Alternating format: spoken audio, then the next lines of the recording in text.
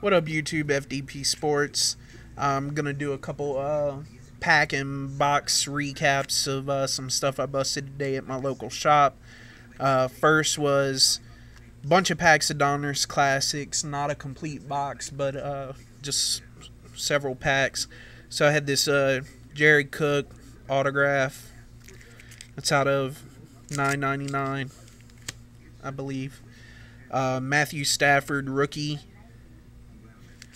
and that is numbered out of 9.99 also. Then uh, jersey card of frank gore. And that is out of 2.99 then Emmitt Smith jersey card. And that is out of 250 next i did a, a pack of Press Pass Legends. Got a pretty nice redemption card for Boomer Esiason and Darius Heyward-Bey. Uh, a couple packs of Press Pass SE.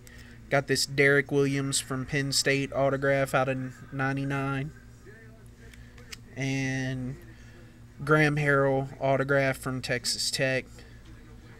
So, not bad. Then, uh, last thing I did was just, I believe three packs of the new 09 Philadelphia Upper Deck product.